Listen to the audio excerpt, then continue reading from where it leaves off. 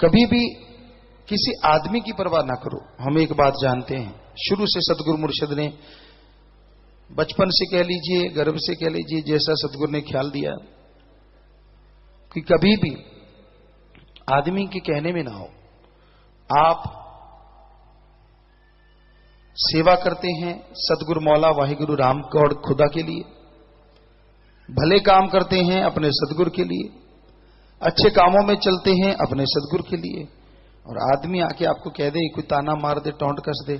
अरे वाह, क्या कुर्बानी आपकी, उसके कहने से हट जाओ। ना ना ना ना। कहीं आप सोचो, यार, फला सेवादार तो खास वो तो खासम खास क्या ऐसा यहाँ कोई दर्जा दिया जाता है? उसके प्लेट लगी होती है कि वो खसम खास है? खसम खास तो एक ही है, वो है खसम। दूसरा कोई खसम खास नहीं है।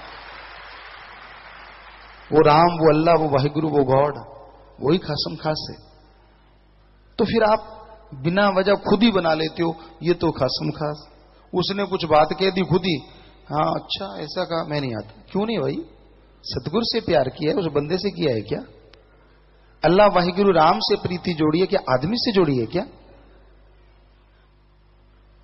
मालिक के इश्क में, अल्लाह राम के इश्क में तो कहते हैं, जमदूत भी आ जाए, जमराज का पहरा हो बबर शेर आ जाए तो परवानी हम तो रास्ते पे चलते ही जाएँगे। और एक आदमी ने कहा, और आप कच्चा धुआँ, फुस फुस फुस फुस फुस। ये क्या है? ऐसा नहीं होना चाहिए। दृढ़ इरादा रखो। यकीन अपने अल्लाह, वाहिगुरु, सदगुरु, मौला पे रखो। किसी की परवाह ना करो। जो ऐसा करते हैं, चारों खाने चित्त होते हैं, वो किसी और का नहीं, अपना अकाज कर लेते हैं।